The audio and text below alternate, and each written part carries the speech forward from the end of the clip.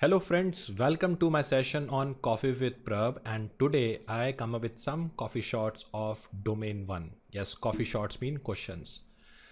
Uh, I took some topic like risk and um, SOD kind of a topics and based on that I made some questions here. This is the first part of domain 1 which I'm covering. If you're new to my YouTube channel, click on the bell icon and subscribe button to make sure you should not miss my future videos and my name is Prabh Nair. For more information, you can refer my LinkedIn profile. Thank you. So without wasting a time, let's start with the first part. Okay, so very good question. After identifying fraud, security professional would seek to implement policies. Fraud mean incident. Policy to reduce the fraud and the possibility of employee collaboration. Collaboration mean collusion. Normally what happen? Uh, we have one person example. So if we take example here as a one person there is a possibility that uh, he can able to create a bill he can sign the bill and then he approve the bill. Okay by which he can commit the fraud. That's why to overcome that we introduce a separation of a duty. Person 1 person 2 person 3 so person 1 do his set of area that create a bill. Person 2 will basically sign the bill and person 3 will basically process the bill so person 1 now have a dependency on person 2 and 3 to complete the transaction. But at later stage, there is a possibility they can all work together to commit the fraud. And this condition is called as a collaboration and collusion. And in this question, they're talking about that only, the possibility of employed collaboration. So which of the following is the most effective control to detect the fraud and prevent the similar fraud in the future? Directly, I'm eliminating a separation of a duty because separation duty was introduced to prevent the fraud from the one person. Because now, one activity or that entire function was split into three people. But there is a possibility even after splitting that to the three people, they can work together to commit the fraud. Least privilege is basically a control by which we can enforce a separation duty. So D and B is removed. Now we left with A, which is a job rotation and option C, mandatory vacation. If the question talking about detecting the fraud, then I will go with the C, mandatory vacation.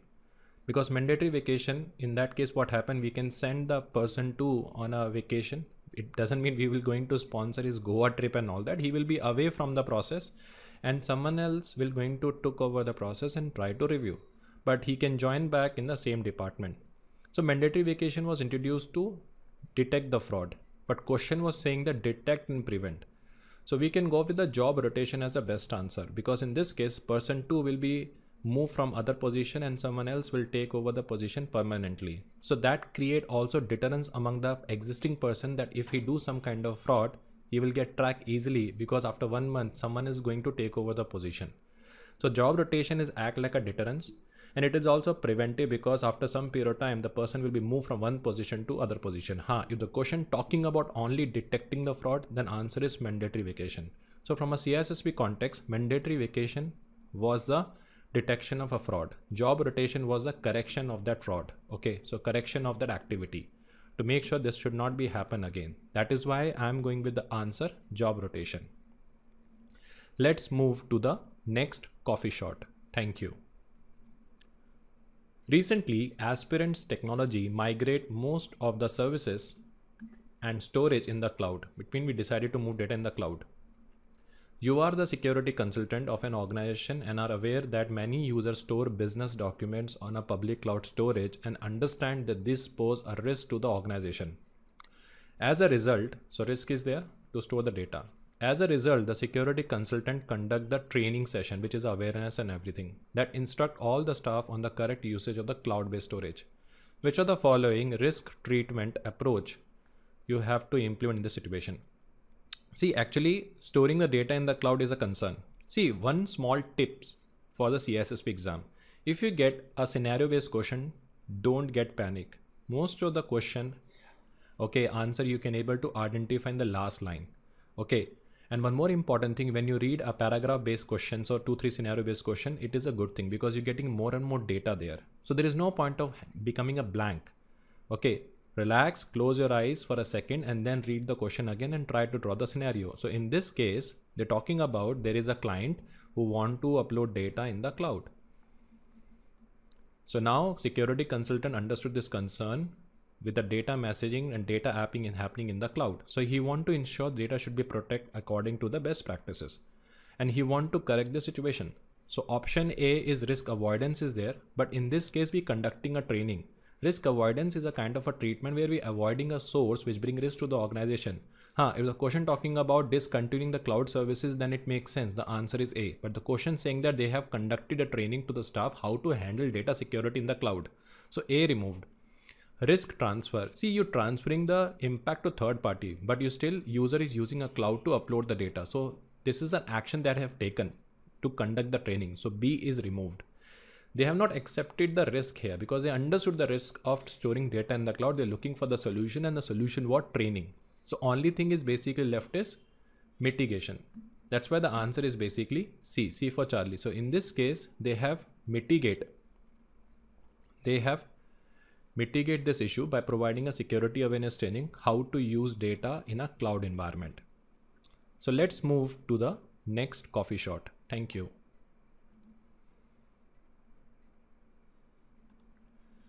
Aspirants must do an annual penetration test due to the compliance, regulations, security checks, and business norm. They want to conduct the annual PT as per the PCI DSS and everything. You are working as an information security consultant and have requested to conduct the black box testing. See, we have a two type of testing, black box and white box. Black box where we don't share any information with the tester. They start from a basic and gather the information. And our intent to perform the black box testing is that, you know, we just want to know how secure is my organization. Find all the information from the internet, try to use and try to exploit. So we have to think like a hacker. But in the white box, we share complete information about the systems. But here the question is talking about conducting a black box. So it is more about external to internal testing. Which of the following would get the most benefit from running the black box testing? So most is a keyword mean most regular. So option A, the finding will provide in-depth view of the network and should assist in identifying vulnerabilities of the internal network. But why be specifically to the internal network? Option B, outcome should reflect what attackers may be capable of discovering about the business associate risk and vulnerability, whether internal network or external network attack vectors. Make sense? Option C, pentest organization may immediately identify area to focus on using the document supplied, but that is something after the PT. No benefit, which is not true. So A and B look very close. I'm eliminating A because it is not only about internal network we will also focus on the external and internal both. That is why the answer is B in that case. So I'm going with the B as a best answer. Let's move to the next part. According to an enterprise security policy, all system must use password at least 8 character long. It means as per the password policy, 8 character must be used. This policy does not apply to a two systems on the network. One system will be upgraded in four months while other will not be upgraded or withdrawn from the network. It means one system will be upgraded in a four months while other will not be upgraded. So condition is policy does not apply to two system. Okay, so there is some risk acceptance is there. And one system will upgrade in four months while other system will be upgraded or withdrawn from the network. Which of the following procedure should be carried out? So we need to provide the business reason for risk mitigation, but here risk is not mitigating because here they're saying that policy does not apply to two systems. So it is not a mitigation. So A removed. We haven't transfer here also because we just withdraw. So we are left with B and C. B saying that provide the business justification for avoiding a risk. We are not avoiding, we have accepting the risk here, right? The two systems on the network. So that is removed. So only option is basically left is C. So we're providing a business justification for the risk acceptance. And according to that, we can basically go with the system. See, if you go by the CISSP logic, whenever things are going against the compliance, in this case, two systems are going against the compliance. So we have to assess the risk of non-compliance, amend in the business case and provide the exception report for that.